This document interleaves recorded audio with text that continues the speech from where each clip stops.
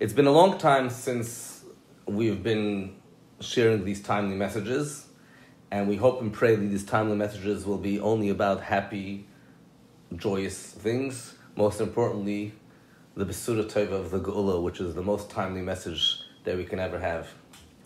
But I do want to refer now to a debate that's raging in our community and in many communities at large. We're going to talk very openly about it, and that's the vaccine debate. I'm not going to give an answer whether one should vaccinate or not, but I want to discuss the principle of Torah. And like in every question, our Torah is a Torah Ur, is a Torah of light. The Torah gives us clear principles and policies. And it's also a Toras Chaim, a Torah of life. The Torah provides us with a way of life. Our Torah is very clear that medical questions are to be determined by doctors. You are not the barometer of truth this principle that people should be debating whether we should vaccinate or not vaccinate, and everybody has an opinion on the matter, is anathema to Torah. You are not entitled to your opinion when it comes to medical matters. You are not entitled to your opinion when it comes to Torah matters. Freedom, exchange of ideas are all beautiful principles. But the Torah principle is that when it comes to medical doctors, medical matters, we our job is to follow what doctors are saying. That is the principle of Torah. People think they have to research every single thing, check out all the different types of information. I have people phoning me nonstop. They want to convince me of this argument and of that argument, and I should look through all the literature and videos, some of which are true and some of which are untrue, and many of which are just stam hack and shainik. It's not your job to research this stuff. When did you become a doctor? When did that become your responsibility? A, it's a waste of time. It's bittul Torah. B, the Rebbe wrote to people many, many times when it came to medical matters, they should not research this matter. They should listen to the doctors and they should not involve their mind in their medical condition other than listening to doctors' instructions. That was before the information superhighway.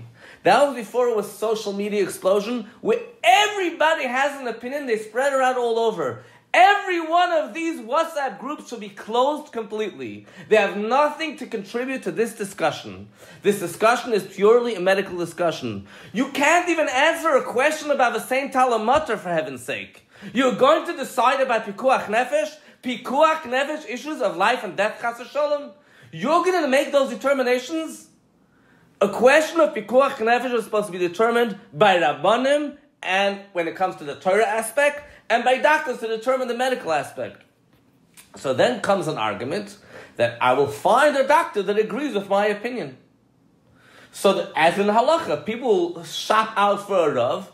I'll find a rav that agrees with my opinion. You shouldn't have an opinion to begin with. Just go look for such a doctor. And of course, in everything we have a range of opinions. Torah tells us to follow majority.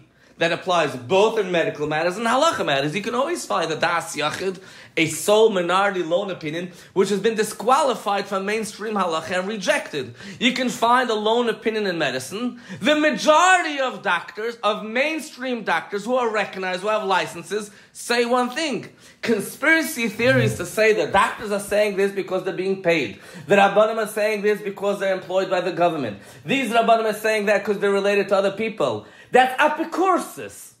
That's against the Torah. To say that Rabbanim have an agenda is against the Torah. The Torah did not tell you to come up with conspiracy theories. That is not part of Torah. The Torah says listen to Rabbanim, and the Torah says listen to doctors. You are not an expert in the field of halacha. You're not the one that's supposed to decide whether this should be a native or shouldn't be a native. You're not the one to decide whether one should vaccinate or not vaccinate. And furthermore, you have no ownership over your body to begin with. That's another principle of Torah. The Torah says that nobody has ownership over their body. This whole concept of liberalism, where I get to decide what I feel is right, and people shouldn't be taking away my privileges and my rights to make choices for myself, is also not a Torah decision. And again, I'm not discussing whether there should be mandates or there shouldn't be mandates. That's a secular question. It's definitely not my field to discuss legal issues and secular issues. But I'm talking about the principle a person does not have bilus on his guf, on his body. You're not allowed to fast and afflict your body, depending when there are situations when yeah, when not, or injure your body, because you have no ownership over your body. You are not supposed to decide whether you should get vaccinated or not. That is a flawed way of thinking.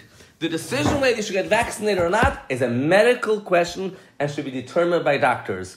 This whole machlokas is splitting apart our community. I will say, regardless of the fact that it's pretty clear where I stand on this matter, although I also shouldn't have an opinion on the matter either, but I will say is that we shouldn't even be arguing about it. Not because live and let live, that's also not a Torah approach. Because we're not supposed to be arguing altogether. It's not our subject, it's not our field. It's, there's no religious shlichus that we have that we're supposed to promote a certain type of opinion. And because we're supposed to have Ahavas Yisrael to all Yidden, regardless of whether they have opinions which they shouldn't be having or not. We should stop making this a polarized discussion. We should stop arguing about it. We should do what the Torah says. We are an Am Chacham V'Novin. We are a smart nation. As Chassidim Befrat, we're Chassidim Chabad, Chachma. I am embarrassed sometimes of how low we have fallen in terms of Chachma Bin Vadas. Because we think we're Chachma Bin Vadas, we think we are the smart Alex and we have to make decisions on our own. Baruch Hashem, we have a Torah. Torah Ur. The Torah says that a doctor is given the authority to make such decisions. And it's not that you ask the doctor and then you do whatever you want. Like someone was telling me today, you consult with the Rav and you consult with the doctor. In our liberal mindset, I make the decisions and I consult. I use them only for consultation purposes. I, what's the point of hearing what they have to say and then you make your own opinion? Or like the Rebbe once said, at Fregmam Rav, and Rav, you'll ask the rabbi and then you'll threaten him that if the rabbi doesn't say what you want to say, you're going to do who knows what. You ask a rabbi a Shaila and the rabbi makes the psak. You ask a doctor a question, and he makes a psak. And whatever is mainstream medical view, that's what you should be doing. So the tells him that uh, Siruch Hatoma Avam and Aretz, the Avish should eradicate all machlas and all sicknesses, which including as sicknesses is emotional sicknesses and mental sicknesses and and wrong attitudes and wrong approaches we needed a fool from that. We shouldn't be embarrassed to say the view of Torah, and the view of Torah is that we should listen to doctors and we should not believe any of this garbage stuff that people are saying that is not coming from the area of Torah. People who say such things are not representing the view of Torah. We shouldn't fight with people, we should respect people, but no, we should not respect everybody's opinion. There are opinions that are not within the purview of Torah.